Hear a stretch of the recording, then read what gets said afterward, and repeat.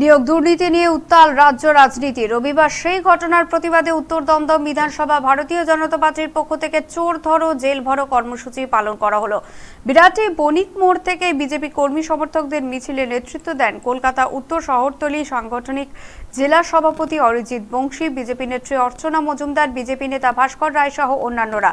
এই মিছিলে এক বিজেপি কর্মীকে পার্থ চট্টোপাধ্যায় সাজিয়ে চলতে থাকে স্লোগান।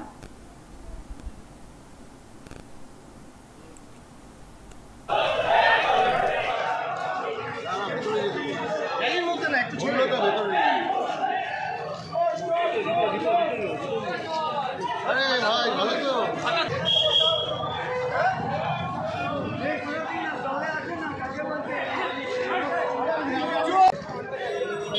ছবি তোলা তুলে নিন এবং সামনে চলে যান। দুজন থাকবেন এখানে।